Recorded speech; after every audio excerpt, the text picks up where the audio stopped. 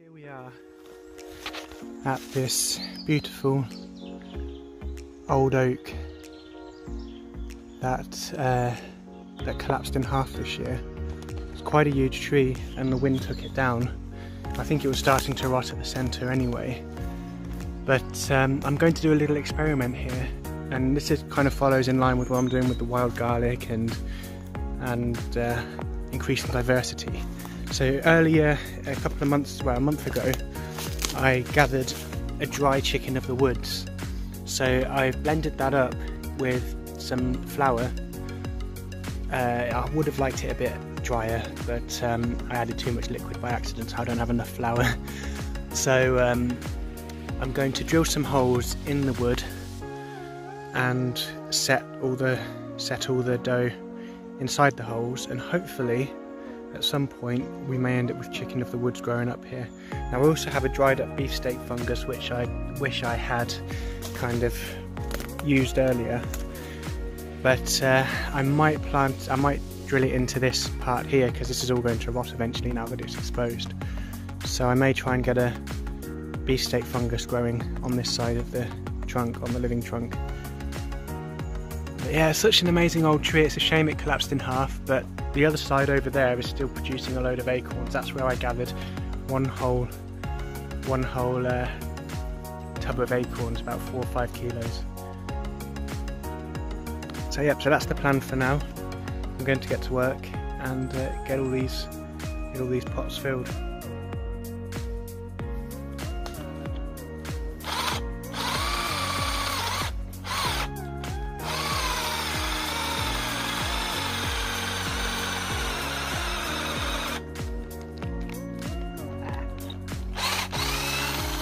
I'm getting a low battery already.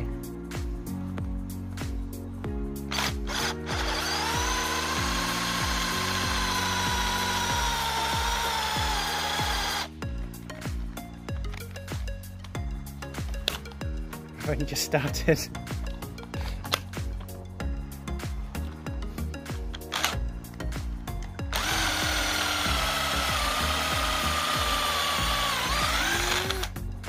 Go show to show how hard this oak wood is. There's all the holes. I think this dough is going to go further than I thought it might, so I might lather a load of it over the top and things like that. Um, if I can't fill all the holes with it. I'm going to do a more, going to do more holes, see how many I can get out of this log. And then over there I may put the shiitake things that I forgot to plant a few years ago. Um, they've still grown the mycelium over them, so I may get them bedded in there and see if they come up there. This drill will actually go. Um, but uh, I'm just going to see if I can inoculate the wood with chicken of the woods and see if this comes up tomorrow. And then the beefsteak fungus I put in the little hole over in the distance there. You can see the little hole in the tree. So I'm hoping that that comes up there at some point too.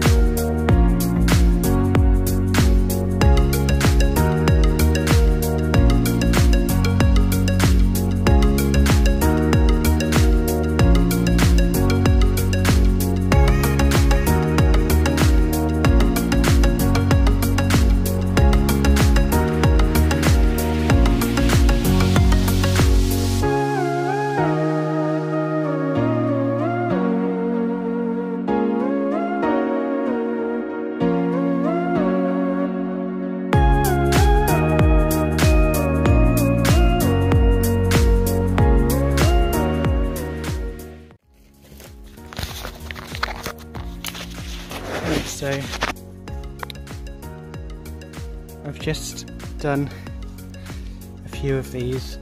Now the main problem is is possibly going to be that the rain will wash all of this away. Um, fingers crossed it doesn't. But what I may do is take advantage of some of the cracks that are in along this log and see if I can get them to kind of stay. Uh, I uh, got a lot of the stuff, so I may inoculate a few other logs if there are any around the place. But we shall see. I'm going to carry on and stuff some other areas with this dough and see what happens next year. I just found on the ground here. It's one of the Lepista species. Probably it's either sordid blewit or wood blewit. Now um, I'm just going to do a bit more, oh, well actually to be quite honest it's probably more sordid blewit looking at how thin the stems are and how and not as fleshy they are because wood blewits tend to be more fleshy so I'll probably say that's a sordid blewit. Taking a lot more out of the jewel than I expected trying to put all these holes in. This old oak is a very tough old oak. Beautiful old tree, such a shame that it collapsed.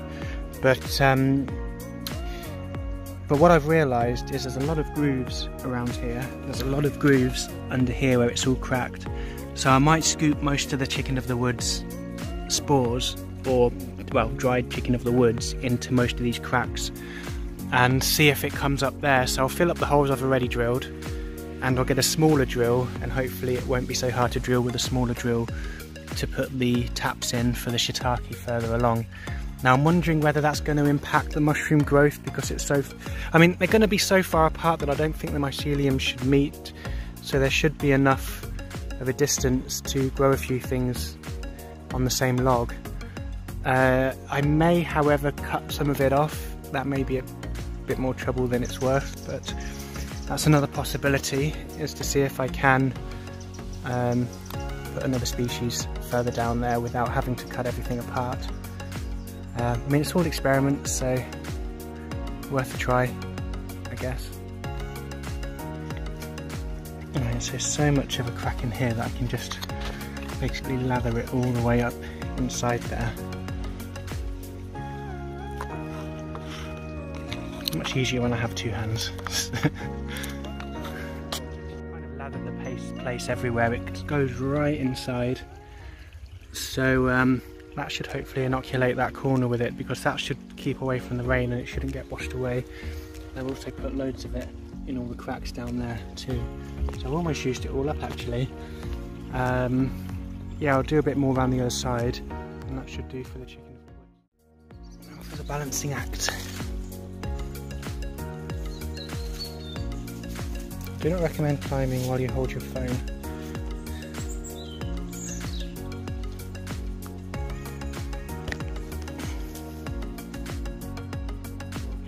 Size that the way down there.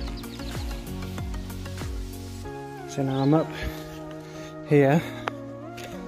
I'm just going to fill the rest of the dough into these cracks.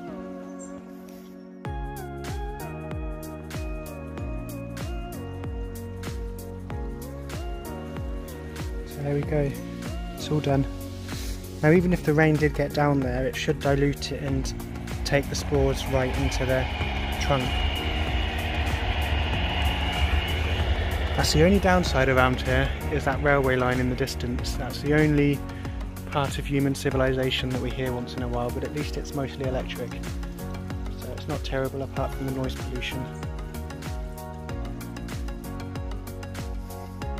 When there are no trains, like during, during mid-lockdown when there were no trains, it was beautiful. There was no sound whatsoever, but the stream and nature and the birds. there we go, I'm just going to go and get the plugs for the shiitake mushrooms and I'm going to put them onto those logs down there. Mushroom dowels with shiitake mycelium on them.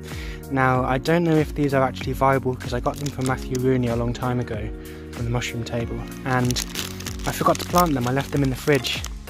I left them in the fridge for a very long time, it could even be up to three years. So whilst it looks like there's mycelium in there and they don't smell they don't smell off or rotten. I'm hoping that they are still alive. Now, um, I mean, apparently they die off in two to four months, so who knows. I'm going to put them in the log, there's no harm done. If they grow, they grow. If I've missed out, I've missed out. Um, I just didn't get around to doing it at the time and I completely forgot that they were in the fridge. So uh, yeah, I'm going to see if I can get these in and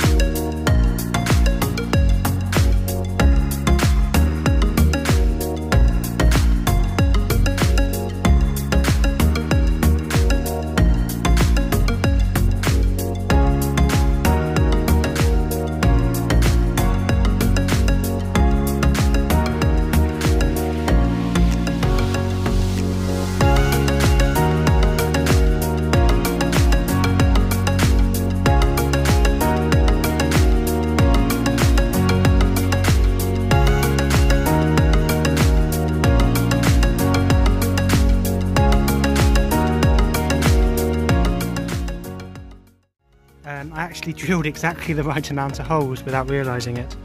So they're all they're all um, they're all in the wood.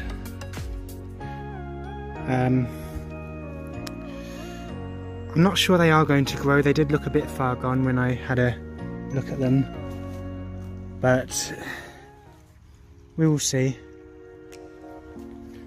We'll see what happens in the spring or autumn fingers crossed that there was a bit of living mycelium still on there but worst case scenario is nothing will happen so I might I could inoculate with something else in the future especially all of that wood down there. I might try and because it's such a big tree I should be able to get a few different species on the different lengths of wood.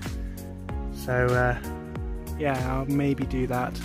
But for now that's that that's all of that done. I've got the dowels in there I've got chicken of the wood spores all the way down this big log and I've got beefsteak fungus buried into the living trunk over there. So we shall see what happens. Um, this is a complete experiment because I don't know if all the samples were too far gone but if they haven't I look forward to seeing what happens in the not so distant future.